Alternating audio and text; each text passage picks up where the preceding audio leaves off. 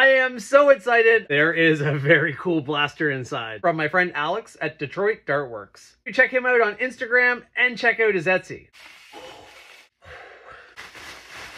Oh, oh my goodness. This is beautiful. Dude, I can't believe you did that as well. That is amazing. This blaster is super unique. Mags go in the top like this, and I love a unique blaster. And this is a select fire switch from single to full auto using like a blinker timer. So clever. I wish you guys could see this in person. This is...